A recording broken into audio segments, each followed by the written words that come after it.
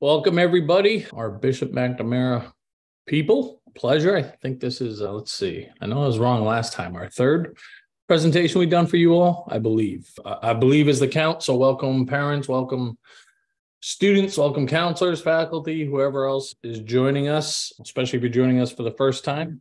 Good to meet you. Happy to have you. My name is Matt Carpenter. I'm representing College Aid Pro today.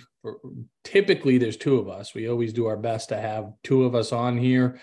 My partner in crime, Peg Keogh, had a flight to catch today. We have a relatively impromptu leadership meeting in my neck of the woods in Boston here. So she's flying out from Seattle today for to meet for the next couple days. Sorry you're stuck with just me today. I'm gonna do my very best, take good care of you though. Let's see, a couple housekeeping things first. Everybody's gonna get this recording, so we'll send a follow-up tomorrow. You'll have this recording, you will have the slide deck that accompanies it and just access to us in whatever capacity you need for any follow up questions. I love questions. Please, I think this makes for a better presentation if it's interactive. And please throw anything at me that you can possibly think of. It doesn't have to be related to the subject matter at hand. As a matter of fact, we're going to tease the next step a little bit at the end here today. We're also going to tease the or spend a little bit of time on on maybe the previous step in some ways on either side of this private scholarship part of the equation here. Okay. So again, throw it out there, right? If you've got an offer from a school, it doesn't feel right. You thought you would have got more money, or maybe you're pleasantly surprised. If you get a particular case study, throw it out there. Uh, put it in the Q and A. If in any questions you have that are more on the personal side, or you'd rather or, or not, uh, you can be anonymous in there as well. Feel free to ask anything and everything. Okay, now usually it's we don't take the full hour today. If we have questions and we need it, I am I am on the clock. Okay, I am on the clock here for it. I'm happy to stay as long as as long as we need to. But private scholarships generally are not too comprehensive. It's not like other parts of this process that are a lot more confusing and nuanced and just require us to get a little bit more in the weeds. And I will say, arguably, one of the ways that I can provide the most value today, and this is just anytime we present around private scholarships, is to level set expectations. Okay. And it, it, because of all the financial aid that's out there, of all the discounts that are given, about five to 7% of that money comes from private scholarships. It's just a very small piece of this overall pie, but it gets so many headlines that we just we feel obligated to address it and provide is the best recommendations we can around it. But again, a, a, one of the bigger takeaways today will be okay, this isn't, it's very unlikely that private scholarships is going to make or break this, how affordable college is going to be for myself as the student or for my kid as the parent, right? That's one thing that it'll be a constant theme that kind of creeps up today as we're working through this. And I think it's an important one just because, again, that's one of the bigger myths out there that, hey, there's all this hidden money out there and you just got to know uh, where to find it type of deal. Like i said that is more myth than anything else okay? So Without further ado, here, let's jump in. Like I mentioned, we are College Aid Pro and we're trying to end the student loan crisis. We have a pretty gaudy goal here, but that's the bad news or the hard news. The good news is we know how to do it, and it's by making good decisions at this stage of the process as you approach it as families. How we end the student debt crisis is by making good decisions now so we don't get ourselves in trouble. A little bit later, unfortunately, Peggy, my girl, can't join us right now. And truth be told, with Peggy, I don't mind sharing this she's a diehard boss fan, right? Not too far from you guys. His stomping grounds in New Jersey there. He played in Seattle last night. So she went ahead and took the later flight today. I'm not mad at her for that. She earned it out there. Let's see. If you haven't already set up your MyCap account, okay, mycap.collegeaidpro.com. It's free to create for those of you that, and I know a lot of you have these already, but one of the things that we're going to spend some time on here is talking about scholarships, not only at the private level, but revisiting them at colleges themselves, okay, because it's not too late for some opportunities. Specifically for the colleges that you've applied to, you want to put them in there to see how you've done in terms of getting scholarships versus how this school or schools typically does business. So I'll put the link in the chat here. And if, and again, if you haven't created an account, I'd recommend that you do because there's a few times that we'll leverage it today and you can follow along mycap.collegeaidpro.com. Okay, there we go. And I popped that in the chat there.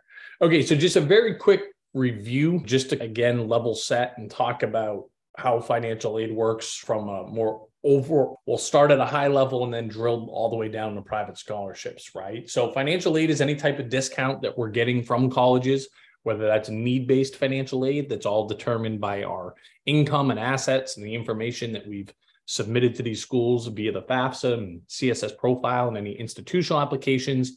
If our, our dollar amount is lower than the cost of attendance, we're potentially eligible for need-based financial aid. Beautiful thing free money discounts, typically called grants on these financial aid award letters, which we'll spend a minute talk, talking about as well.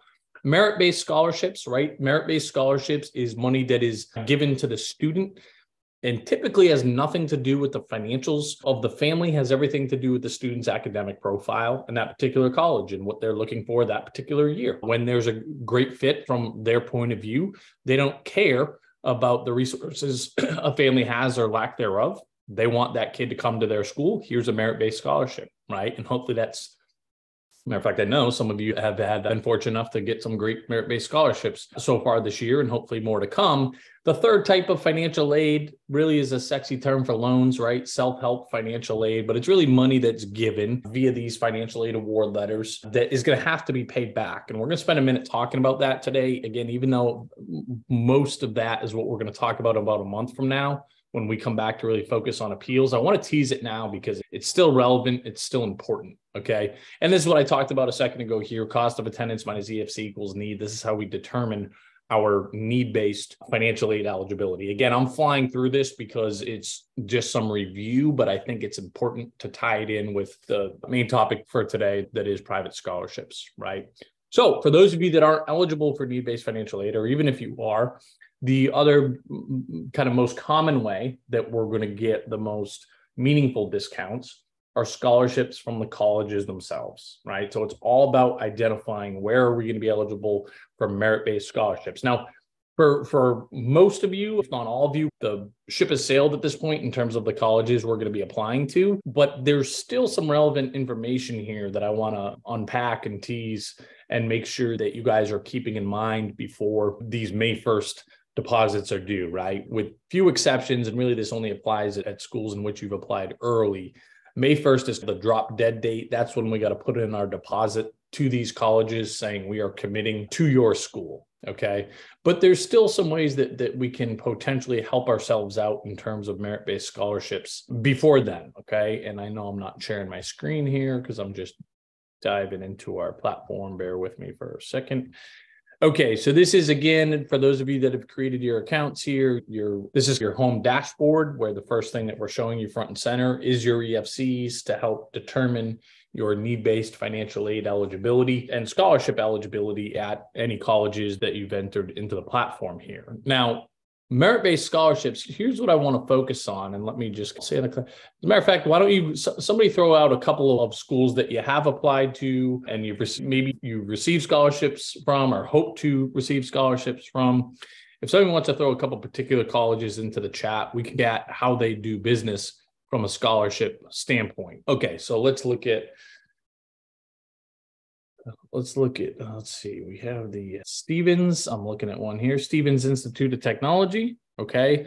So let's drill down into here. They're pretty good traditionally with merit-based scholarships and we're projecting for this particular student smart kid he'd get a $20000 merit-based scholarship. So there's a couple of things i want to look at here. Now number one okay we can get some intel in terms of the why there okay, we see the average GPA, the average test scores at this particular school, in this case, Stevens Institute of Technology.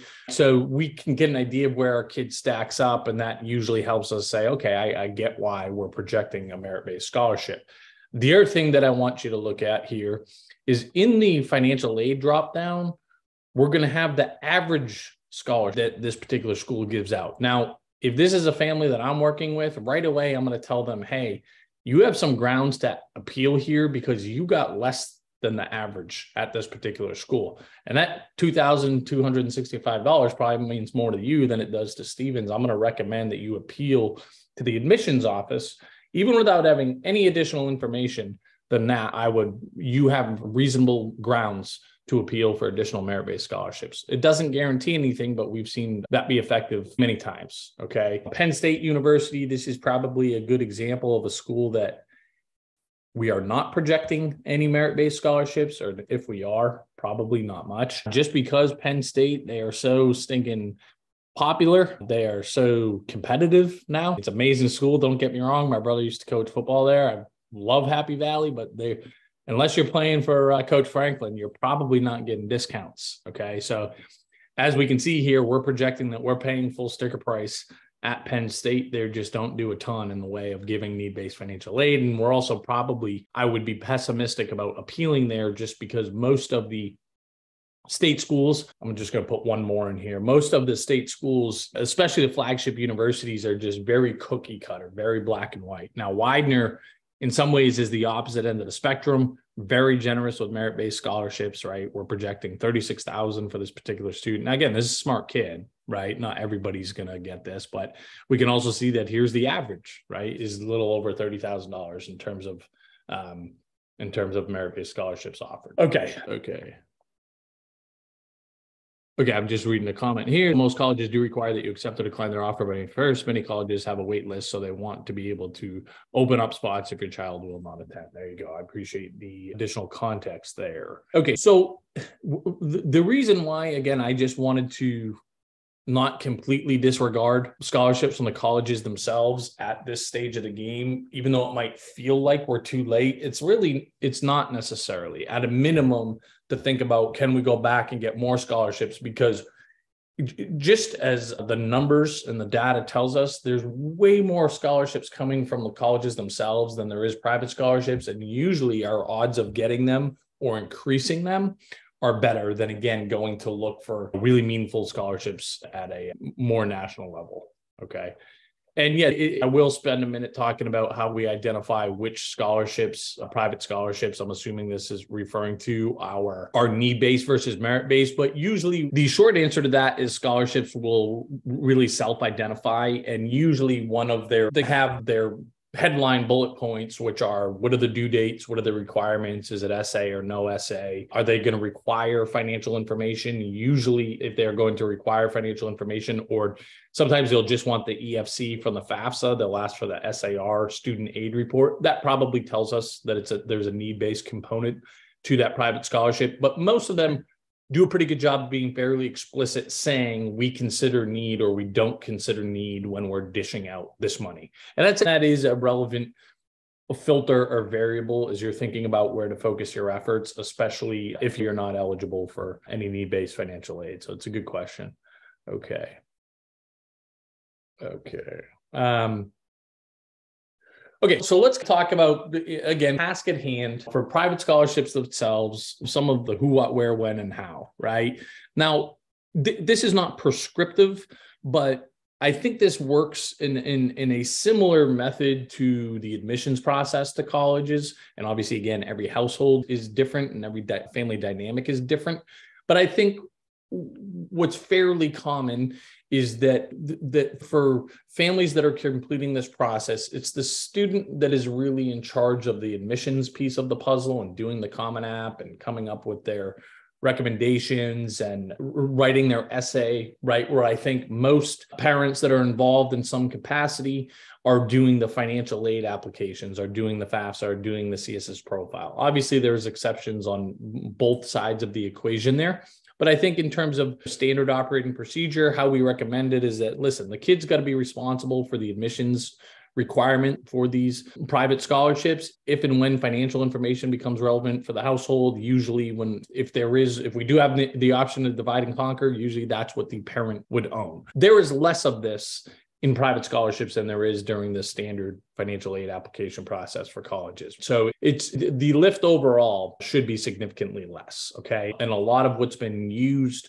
for the admissions process should be able to be repurposed for these private scholarships. Okay. What's a realistic expectation, right? What should we be considering a win here as we're approaching this as a family, right? And generally speaking, that I say, and this is this isn't hard da- data, but it's more than just completely anecdotal. Having eh, been doing this for almost two decades here, that if the kid puts in roughly, let's call it 10 hours of work. Okay.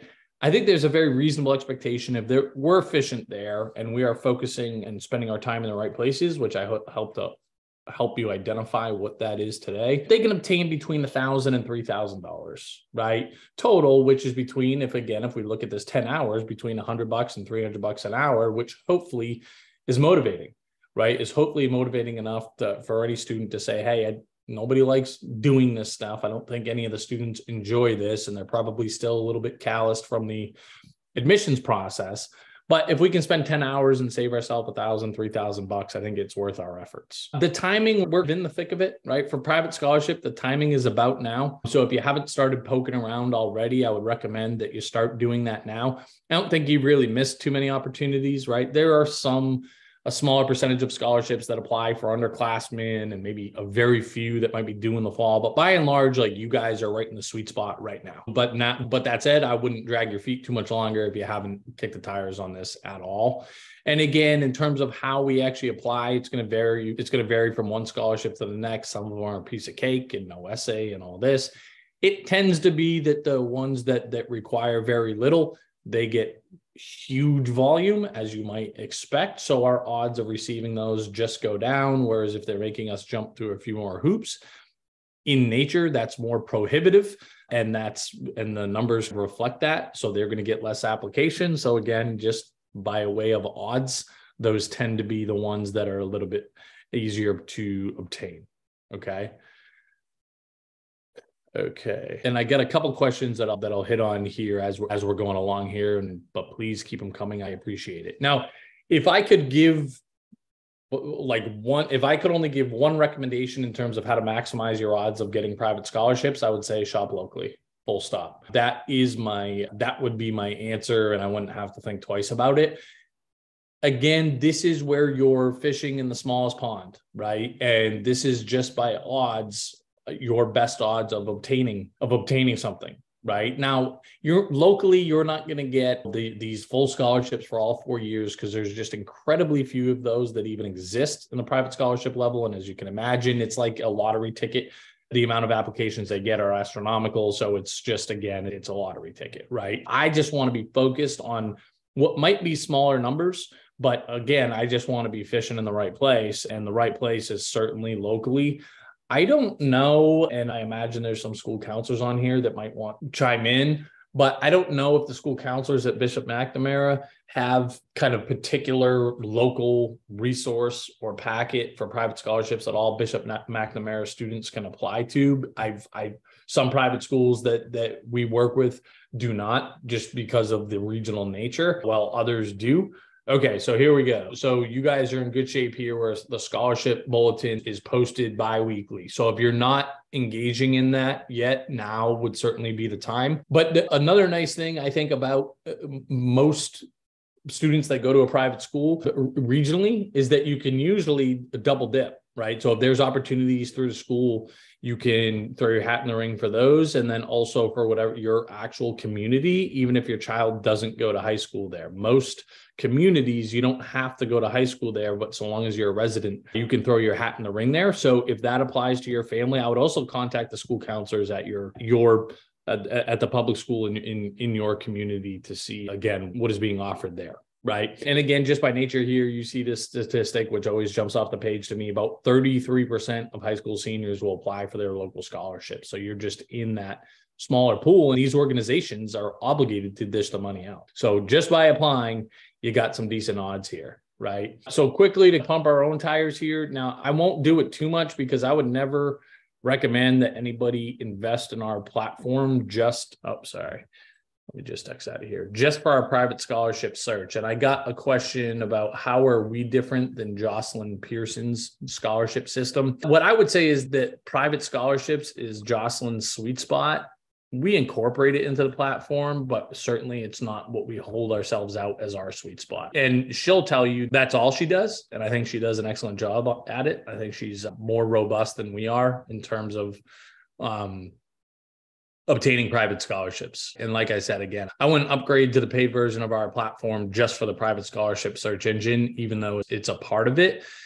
but this is how it works. And what I would say is after you, again, I'll exhaust my offers initially at the local level, and then I'd go look at the state level, right? And we have most private scholarships around the country are built into our platform here. But how I would use it is just to say, hey, I'm a resident of Maryland. Okay.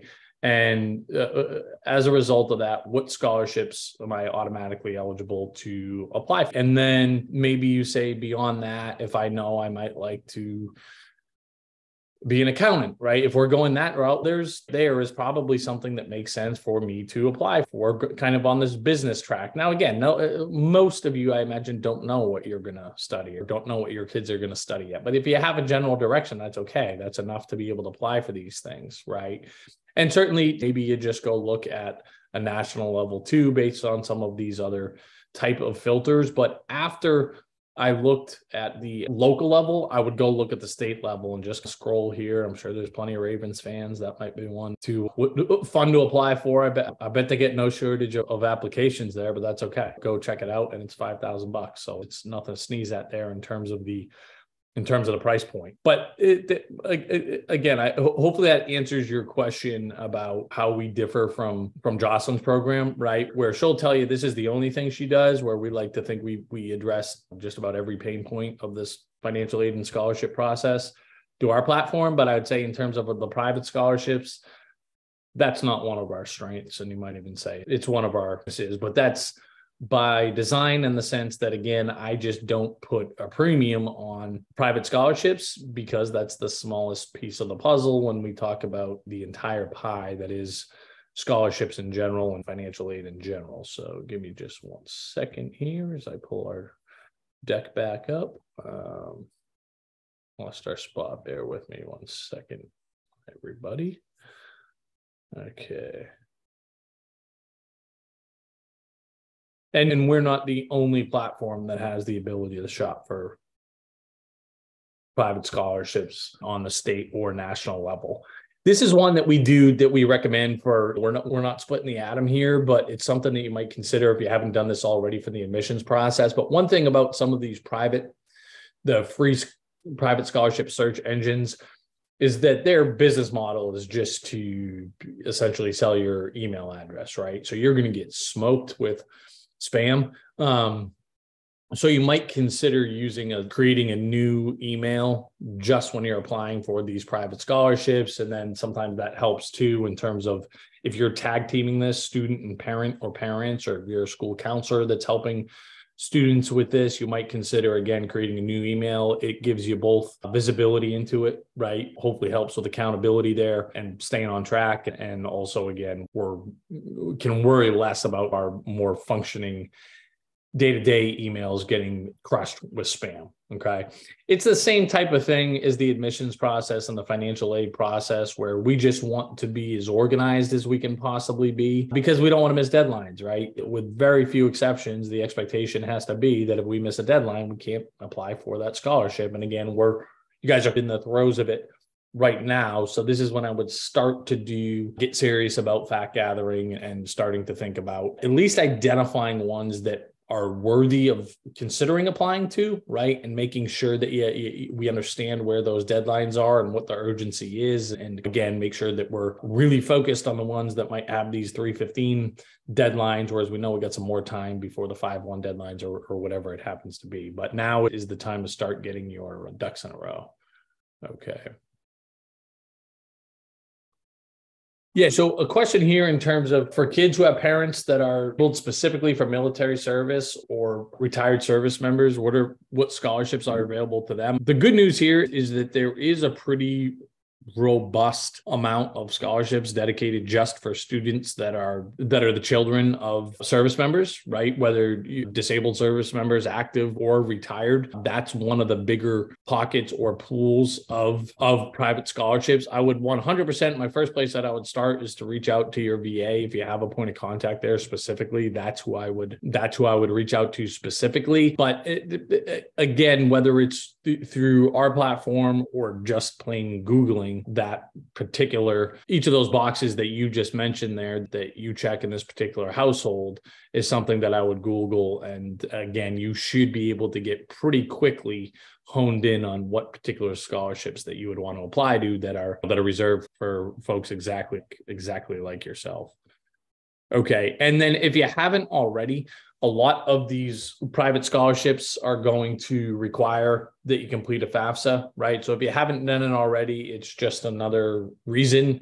And if you follow along with us or have been following along with us, you've heard us say this probably ad nauseum, but another reason why you'd want to complete your FAFSA. And then some of these, um, some of the state programs as well require that you complete your FAFSA.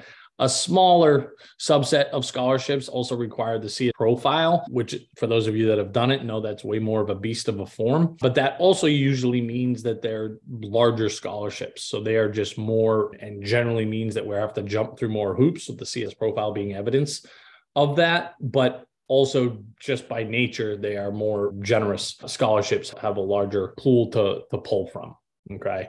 Another thing I mentioned, I don't know if it came up yet. But generally speaking, private scholarships are for the first year only. Okay. They, they are not renewable for four years in the way that just about all merit based scholarships that the colleges give. If we got a $5,000 scholarship freshman year, we're going to get that all four years so long as the student maintains a minimum GPA. Obviously, you need to read the fine print of any of these offers that you're getting from the colleges, but that's a fair general rule of thumb.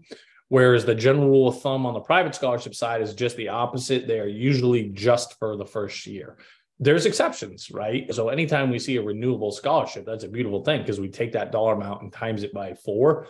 But as we're budgeting out this four year cost that these colleges, that college is, right? And probably more for some of you folks, but we want to bake that into our kind of overall cost projections that these private scholarships, in most cases, are going to be year one and year one only.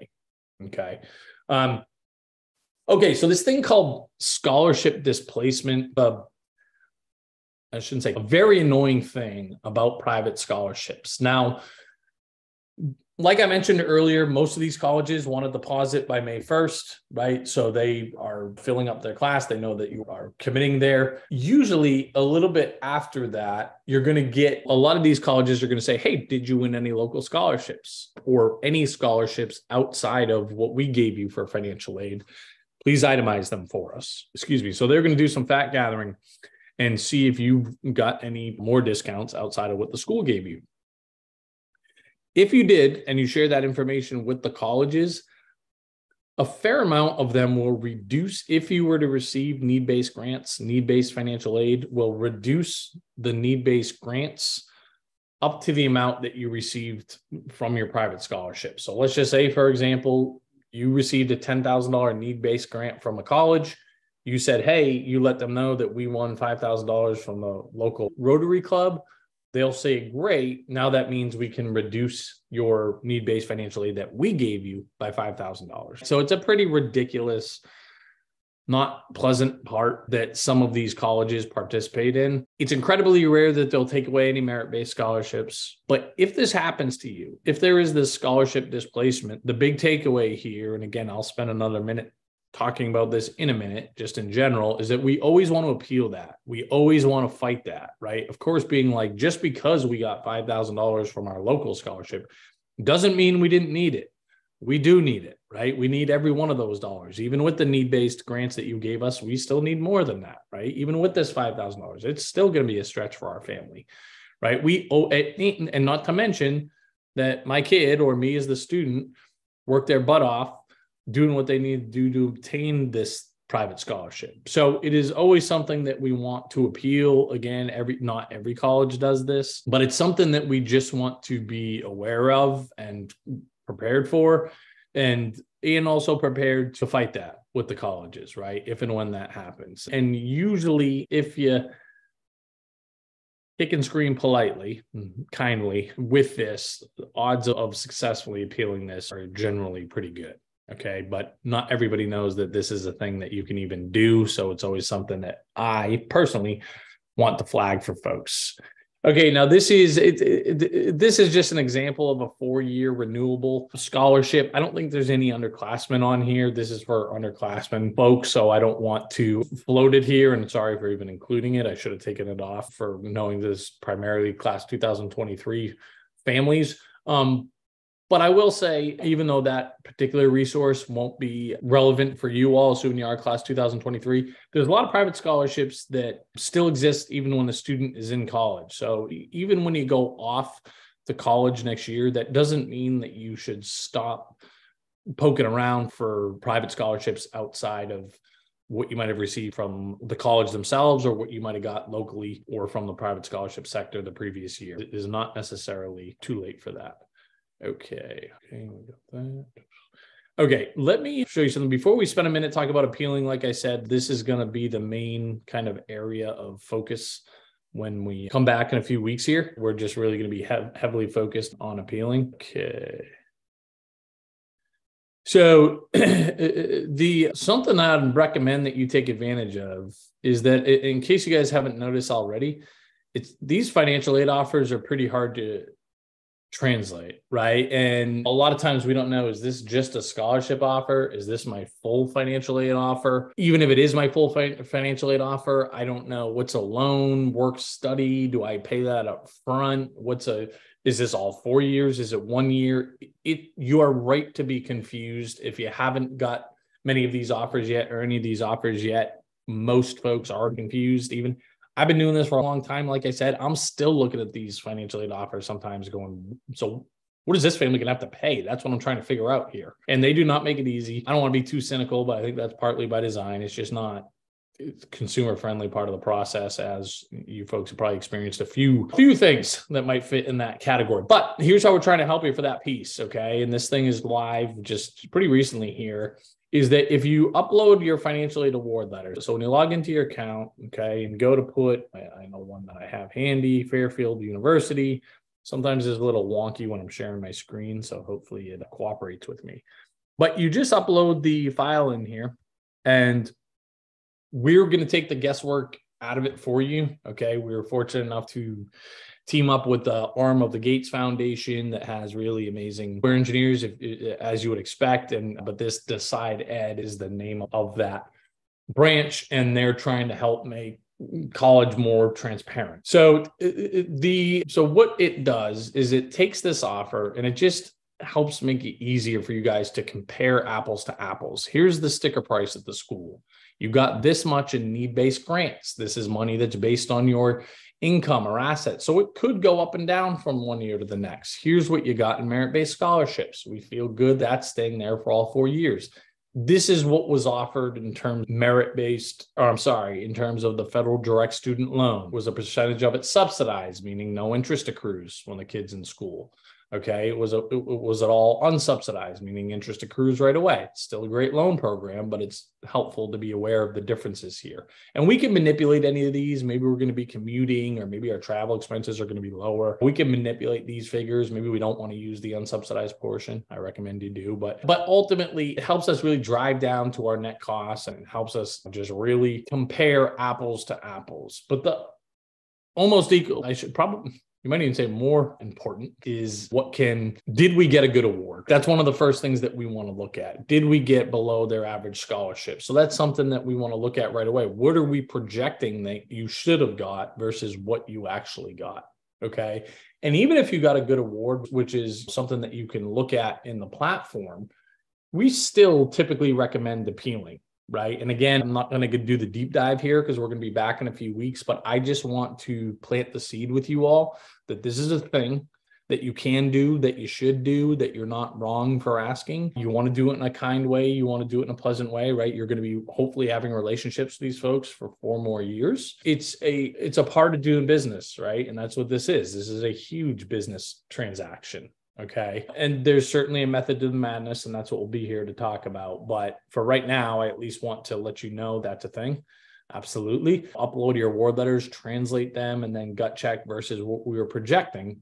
How'd you do? Because it's very common for schools to under award. I pick on Boston College in my backyard all the time they're, and they're an amazing institution. Don't get me wrong, but they traditionally under award people ten thousand dollars. Nobody knows that, and we like to police that to let them know that they should give you 10000 more dollars than you got. And if you go back and ask this way, they're going to do it. They typically do. Again, I just want to tease that. So a couple things. I get a couple questions. How much does the College Aid Pro platform cost? Right, there's the free version for everybody if you are on free or reduced lunch, it's free for you as well. Just write into us, just write support at collegeaidpro.com. Say, hey, I saw Matt Carpenter speak at my high school.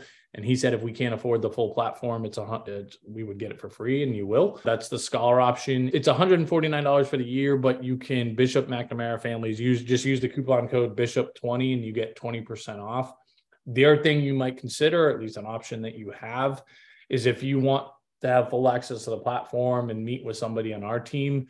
Um, you can do that. You just choose the. Uh, let me get back in here. The within the platform, you can either it'll either say upgrade or talk to an expert, and you can meet with somebody on our team for an hour and have access to the platform for the year for I think it's 239 with the coupon code, some something like that. So especially for appeals, some families consider that, right? You can meet with the director of financial aid at Harvard, director of financial aid at MIT.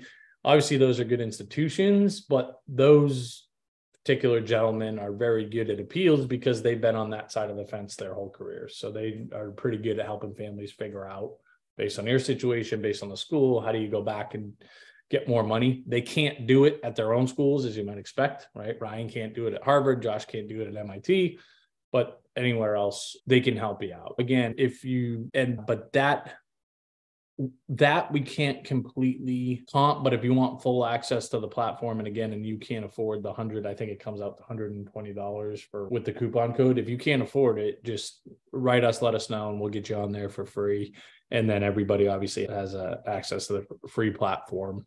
Um but at a minimum just continue to follow along with us, right? We do this all the time. For those of you, actually, we've had a great kind of group of Bishop McNamara that's been pretty consistent and following along with us. But we want to continue to support you, and we will, right? We'll be back. Hopefully, Peggy will be here next time to talk about appeals in in a couple of weeks, and then after May first.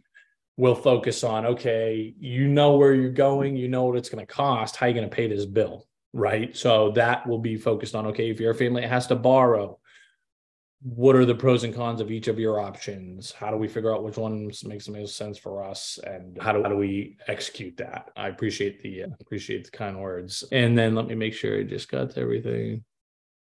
Most colleges.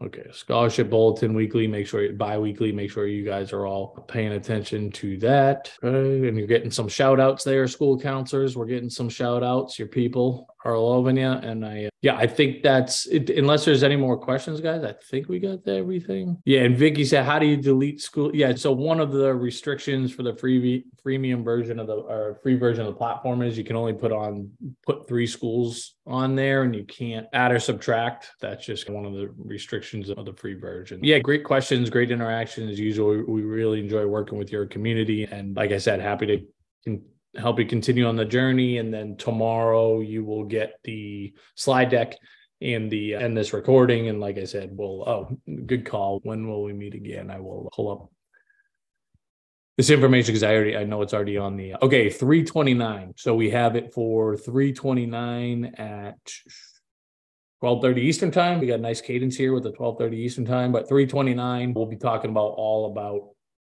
all about appeals. I wanted to tease it today just because it's probably going to be relevant for some of you before then, but that's still absolutely the sweet spot. And again, you all know where to find us um, for any questions that come up before then. And uh, I think we got everybody.